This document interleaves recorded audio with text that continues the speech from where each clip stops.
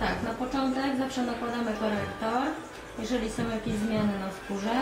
Później nakładamy punktowo gąbeczką y, podkład na całą E, w twarz. W taki sposób y, odrywany.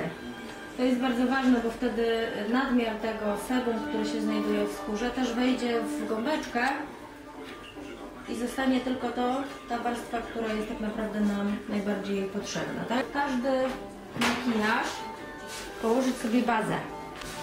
To nam utrzyma cały makijaż na miejscu przez wiele godzin, a do tego fajnie błyszczy.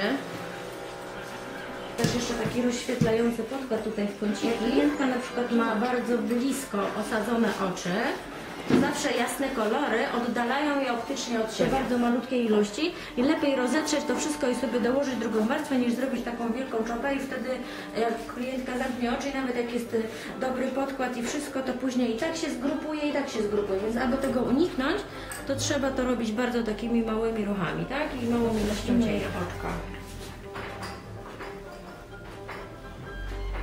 E, Nakładanie cienia polega ogólnie na jego rozcieraniu, wiecie? I teraz tak, jeśli chodzi o kształty oczy, oczu, jeżeli chcemy na przykład osiągnąć efekt e, taki, że klientka, e, załóżmy, jest pultaśna na buzi, tak? To aby ją wyszczuplić cieniami, bo też są takie triki, można to zastosować i wtedy im wyżej cień się nałoży, załóżmy tutaj w tej, w tej okolicy tutaj, tu, nie wyjeżdżając poza tutaj ten obręb, to wtedy się ją optycznie wyciąga do góry.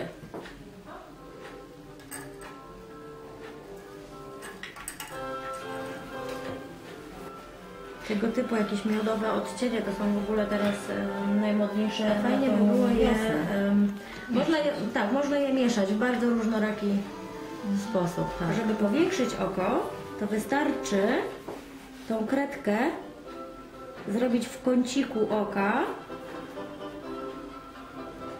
i po zewnętrznej stronie z przeprowadzeniem jej do dołu.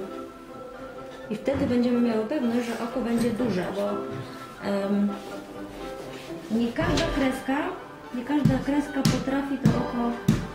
I teraz tak, też nie otwierać za mocno, żeby to się nie odbiło na górnej powierzchni. Wystarczy naprawdę odrobinę podkreślić długość tych rzęs. Po prostu tak, jasne kolory, tak jak już mówiłam, one zawsze powodują, że coś się powiększa, tak? A ciemne kolory pomniejszają e, twarz. Przy brodzie i przy szczęce ciemnym puderkiem.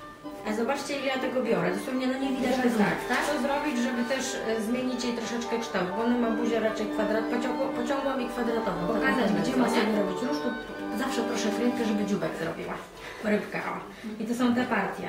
Tutaj się robi szczyki.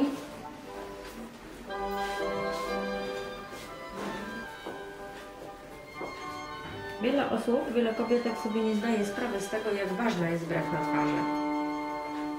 Ona daje nam całego wyrazu.